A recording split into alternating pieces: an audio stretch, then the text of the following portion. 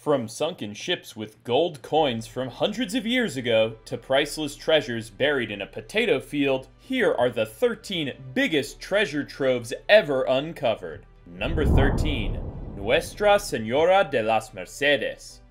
Who has not dreamed of finding a mysterious and ancient treasure hidden in some remote part of the world?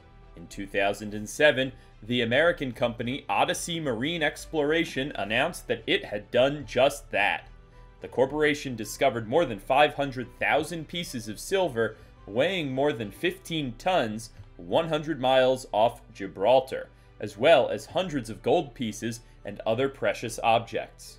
Although the company claimed it was the wreck of the Black Swan ship found in international territorial waters, Spain has managed to prove that the treasures were on board the Spanish frigate Nuestra Senora de las Mercedes sunk by the British on October 4, 1804, during the Battle of Cape Santa Maria. In a long legal battle, the American authorities supported Madrid and forced the company to return these colossal treasures, estimated at 384 million euros, to the country. Now the coins are on display in a museum and can never be sold. So much for the excitement of finding treasure. Number 12. Whydah Gally. It's hard to say how many thousands of tons of gold, silver, and precious stones still lie at the bottom of the oceans, considering the number of ships sunk with treasures or at the depths of the earth. Sometimes, researchers have the chance to find them and bring them to the surface. This did actually happen in 1982 when American underwater archaeologist Barry Clifford made a sensational discovery several hundred meters from Cape Cod, off the state of Massachusetts, only at a depth of 18 feet, he found the wreck of the ship Whydah Gally of the famous pirate Samuel Black Sam Bellamy. Piracy was one of the most lucrative careers for short term gain back in the 17th century, but many of the best treasures were lost in the chaos that occurred whenever pirates commandeered another ship. After attacking more than 50 ships in his short career, Black Sam had gathered enormous wealth aboard the Whydah. In several years of studying the site, Clifford's team brought to the surface more than 200,000 valuables, including 12,000 gold pieces, not to mention weapons, furniture, and other historical pieces. Number 11. The Flea Market Fabergé Egg. Hunting in flea markets can change your life. This is what happened to an antique dealer in the American Midwest who found one of the Fabergé eggs that could not be found. This golden egg has in store for him a heck of a surprise. Bought at a flea market for about $14,000 a few years ago, its new owner intended to sell it for the gold it contained. After estimation, the egg is now worth about $30 million.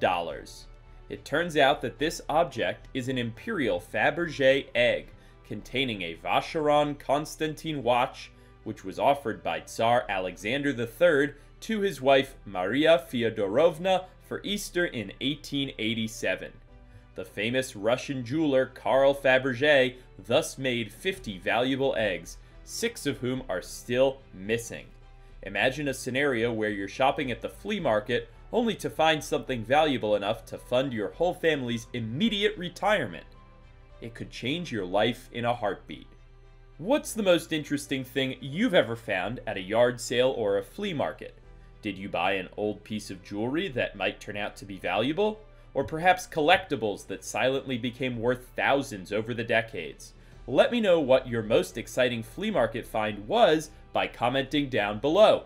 Then be sure to subscribe to The Biggest if you haven't already there are going to be more exciting videos coming out very soon, and you won't want to miss any of them. Number 10. The Treasures of Lake Baikal. Lake Baikal in Siberia is not only the deepest in the world, but arguably the most mysterious as well, with a depth of up to 5,400 feet, spanning 400 miles long and 50 miles wide. This lake conceals many sunken treasures of past centuries. In particular, it is assumed that a large part of the Tsar's gold was swallowed up there. After the Russian Revolution, the monarchist White Guards fled in railroad cars across the frozen lake. Eyewitnesses reported that the ice gave way under the extremely heavy weight. Up to 180 tons of gold could thus have been lost with the wagons. And indeed, with a research submarine, they discovered several years ago, at a depth of 2,300 feet, the debris of a railway car. And even further, several boxes of ammunition from the Russian Civil War. The precious cargo of the monarchists, however, has not been found at the time. Other teams of divers have had more success. Thanks to metal detectors, they have spotted wrecks and reassembled pieces of precious metal and of great value, coins struck by the legendary Catherine the Great, who reigned over the empire at the end of the 18th century. Number 9. Snettisham Treasure. The Snettisham Hoard, or Snettisham Treasure, is a series of discoveries of precious metal from the Iron Age that were discovered in the Snettisham area of the English county of Norfolk between 1948 and 1973. The treasure consists of metal and over 150 fragments of gold torques, more than 70 of which form complete torques dating from the year 70 BC. Although the origins are unknown, this treasure is of a very high quality and was likely the royal treasure of the Iceni. In 1985, there was also a discovery of very valuable jewelry from the Roman Empire buried in a clay pot in AD 155, which was called the Snettisham Jewelers Hoard. Although it was made later and thus has no direct connection to the nearby Iron Age hoard, it may be an indication that there was a long tradition of gold and silver working in Snettisham for thousands of years. Number 8. Valley of the Thracian Rulers in the fall of 2004, the sepulchre of King Seuthes III was discovered in the Goliama Kosmatka tumulus, located half a mile south of Shipka and 8 miles north of Kazanlak. Built in the second half of the 5th century BC, it was teeming with Thracian wonders, including the king's golden crown, a golden kylix, which is a wine glass with two handles, a helmet knee pads, and a decorated and ornate harness now on display in the Historical Museum of Kazanlak. The ritual burial of the head of the bronze statue of the king at the entrance to the tomb is an important testimony to the Orphic rites of the Thracians. Besides the sepulchre of Seuthes III, the Valley of the Thracian Kings also includes the tomb of Kazanlak and the temples found in the Goliama Arsenalka, Shushmanets, Helvetia, Griffons, Svetitsa, and Ostrusha burial mounds.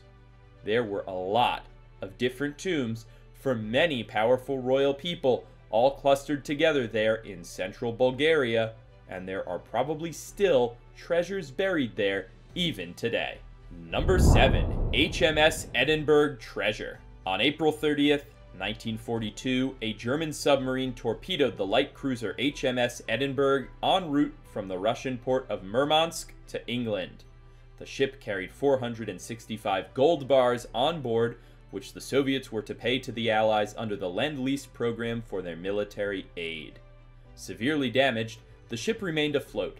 However, for the enemies not to recover the cargo, it was sunk on the orders of British Rear Admiral Bonham Carter. After years of research, the ship was found in 1980 250 miles northeast of Kola Bay in the Barents Sea, lying at a depth of 800 feet. On October 7, 1981, 431 of the 465 ingots were recovered.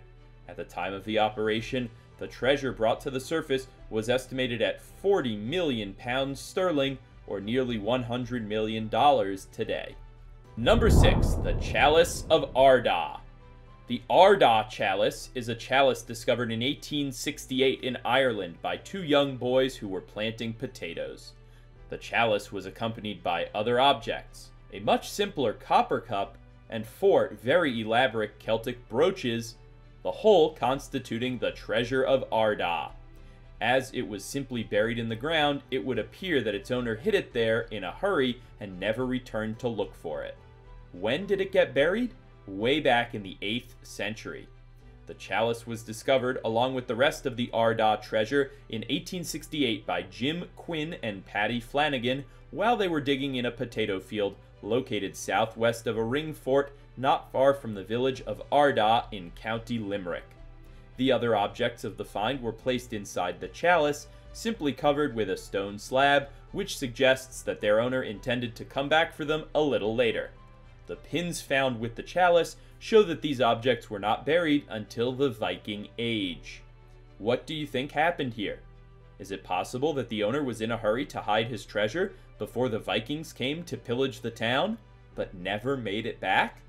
After 1,000 years underground, the valuable treasures give us a glimpse into a life from the distant past. Number 5. Vienna Treasure.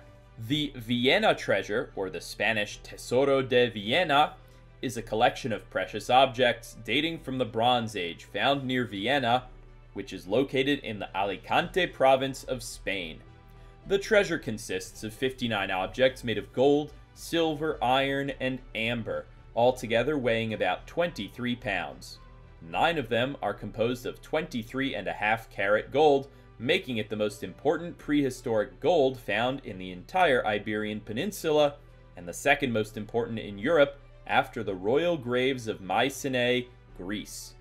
The treasure was found in December 1963 by archaeologist Jose Maria Soler Garcia, and rather than take it home for himself, he donated it to a museum.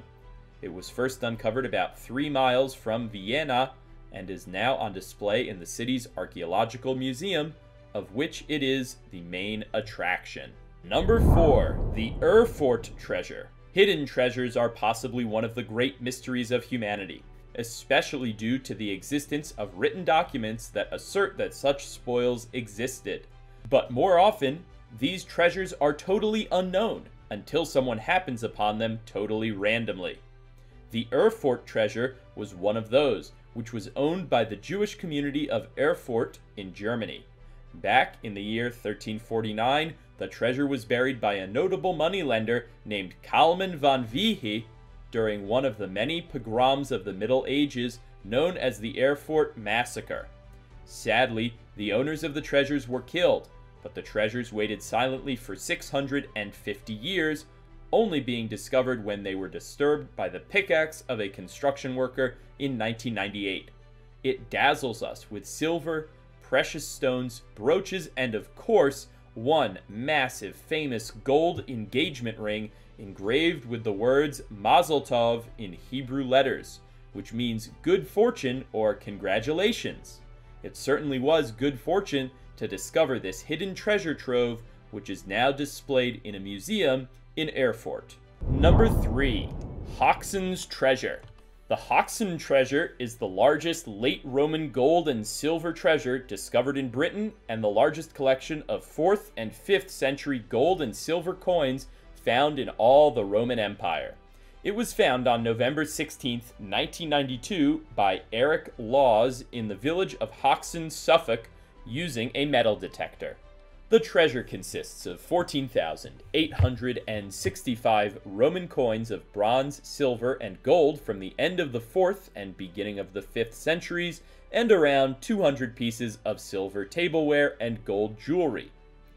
These objects are kept in the British Museum in London, where part of the treasure is on permanent display. Notably, this treasure was fully excavated by archaeologists, rather than amateur treasure hunters, and the law in Britain changed to properly compensate the discoverer and the farmer who owned the land where it was discovered in order to incentivize them to report treasures promptly rather than try to extract it and sell it themselves. Number 2.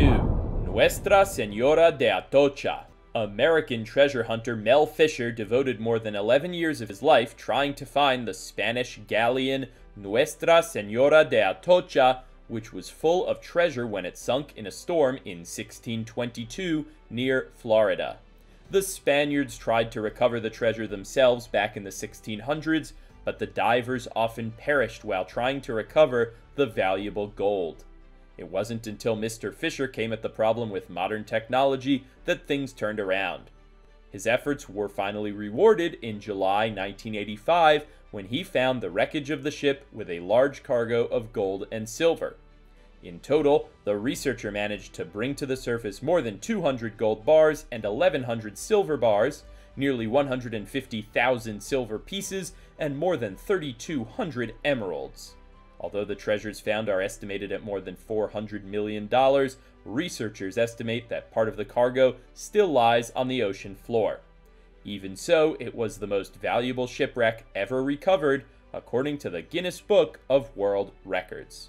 Number 1. The Staffordshire Treasure. Terry Herbert, a 55 year old man, is the discoverer of a fabulous treasure consisting of over 1,500 gold and silver objects dating from the 7th century in a plowed field in Staffordshire and at a very shallow depth. It contained gold and silver for coins, and also weapons such as fragments of helmets, as well as sword guards, some of which are set with precious stones. Its discovery, the importance of which is compared to that of the tomb of Pharaoh Tutankhamun, is full of archaeologically significant artifacts. There are at least 84 pommels and 71 sword guards identified, which mostly display very fine decorations and encrusted garnets. The treasure contains approximately 650 gold objects weighing over 11 pounds, and 530 silver objects weighing about 3 pounds, and a large number of precious stones. Its valuation ended up being set at over 3.2 million British pounds, which was split equally between Terry Herbert, who planned to buy a house, and the owner of the field, according to an agreement between the two men. Of course, such a large treasure caused a bit of a disagreement between the men, and they are no longer friends. Isn't that how we always fear these things will go? Sometimes you gain a treasure, but you sadly lose a friend over it. If you found a treasure in your backyard, what would you do with the money gotten from it? Let me know in the comments. And if you love this video on the biggest treasure troves ever uncovered, then subscribe now to make sure you get notified about all the great videos coming out very, very soon. See you next time.